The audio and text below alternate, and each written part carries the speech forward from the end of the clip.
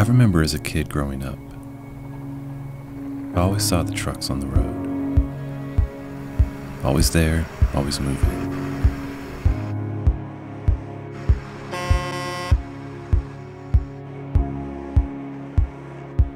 The horn really stuck with me. As I got older, it was still cool. I could make a connection with just a simple gesture.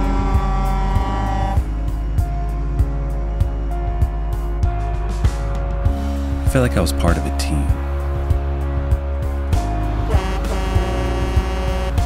Part of something bigger.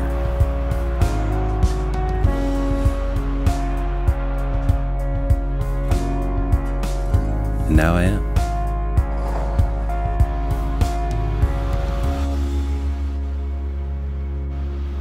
This sound moves America.